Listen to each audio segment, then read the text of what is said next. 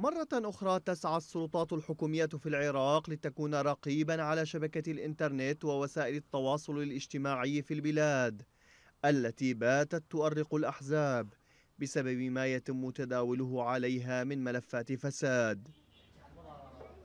وزارة الاتصالات أعلنت رسميا تعاقدها مع شركة نوكيا الفنلندية لتنصيب برامج حجب جديدة. تقول إنها ستمكنها من حجب مواقع التواصل الاجتماعي الوهمية والمواقع غير الأخلاقية ومواقع أخرى لم تحددها. إعلان يقول ناشطون حقوقيون إن محتواه يتكرر سنويا في محاولة لقمع حرية التعبير والرأي في العراق.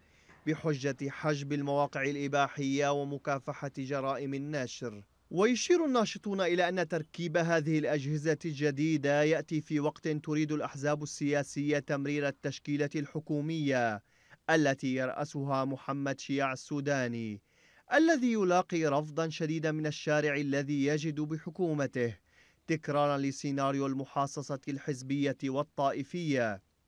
محاولات يرى فيها مرصد الحريات الصحفية إصرارا على السيطرة على التدفق الحر للمعلومات وحرية التعبير بذريعة تبريرات يصفها بغير المقبولة مثل حماية الأمن القومي والمعايير الأخلاقية في مخالفة صريحة للدستور الحالي الذي وضعته العملية السياسية بنفسها.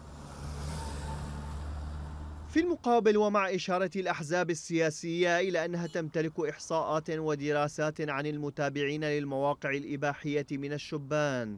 يستغرب عراقيون من عدم إشارة تلك الإحصاءات والدراسات إلى الجوع والفقر والمصابين بالأمراض السرطانية في العراق.